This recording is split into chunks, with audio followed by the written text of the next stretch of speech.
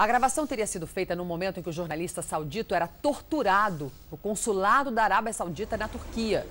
Ao fundo, também seria possível escutar a voz do cônsul pedindo para que a ação continuasse em outro lugar para evitar problemas. O material teria sido gravado pelo relógio da vítima. O presidente dos Estados Unidos, Donald Trump, pediu acesso ao arquivo para que o secretário de Estado americano faça um relatório depois da visita à Arábia Saudita e à Turquia. O jornalista Jamal Khashoggi está desaparecido desde o dia 2 de outubro.